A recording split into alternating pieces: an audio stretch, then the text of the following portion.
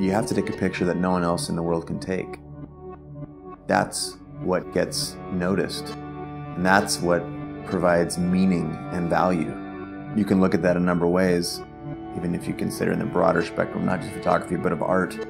You have to be making things that no one else can make. And, and for some people, that means um, diving into a volcano or um, you know, some physical feat that no one else can get, or, or technologically no one can do it. That's one of the reasons I arrived at a snapshot because this is something that anyone in the world can do because nobody else lives your life but you. And if you're taking pictures of your life, you're constantly creating snapshots. Those are truly images that, that nobody else is seeing, especially the way that you do. The best thing about this Dasein project is that it's a celebration of snapshot, which I think is has become some of the most important photography of our culture.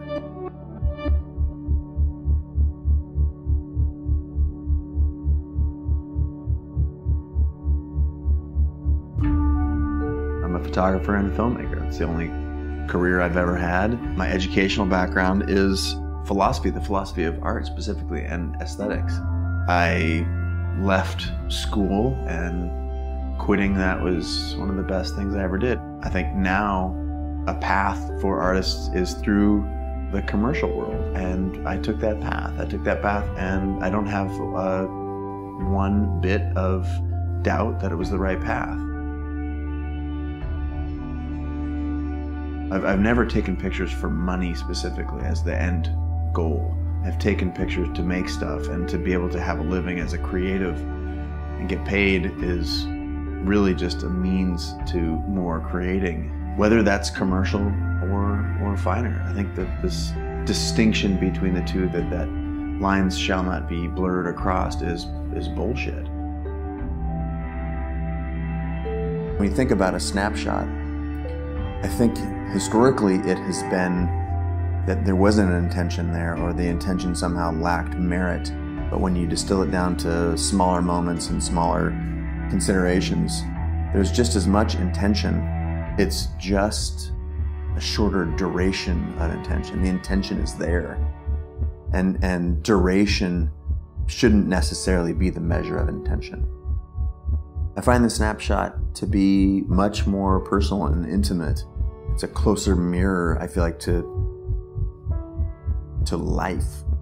It's not passing through any filters. There's no one telling you to move the camera a little bit to the left or to the right.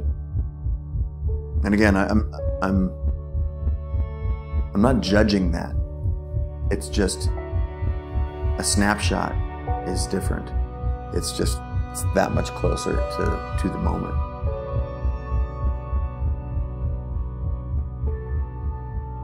Well, my decision to bring this project to New York was um, purely a selfish one in that this is a very vibrant and rich place. And when I'm talking about taking snapshots that are meaningful to me about what it is that I'm doing, I wanted this real um, initial push in this direction to be in a place where there was so much going on, both within my world and the world moving past me, that I would be able to to get lost in it and and not be overthinking it, but just be have it wash over me.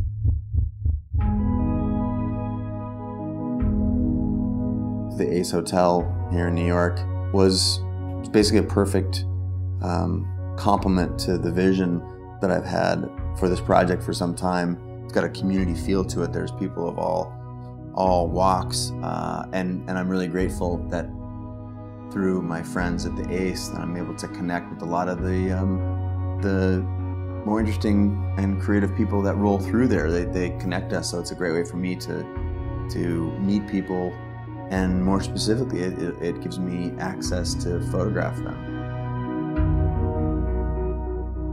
The Ace Hotel gave us the space, the gallery space just off the the lobby, and I reached out and tapped the people who pay attention to what it is that I'm doing out in the world and said, I'd love to see your snapshots and spread the word. So on one wall, we've just got a huge, huge selection of pictures, hundreds and hundreds of snapshots.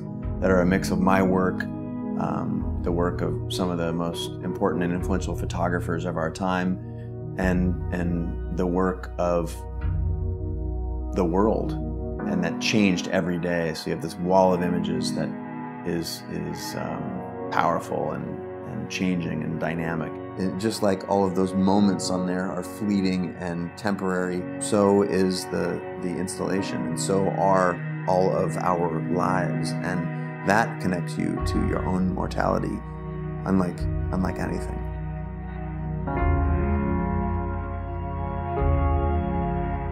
There's very little routine in my life, typically.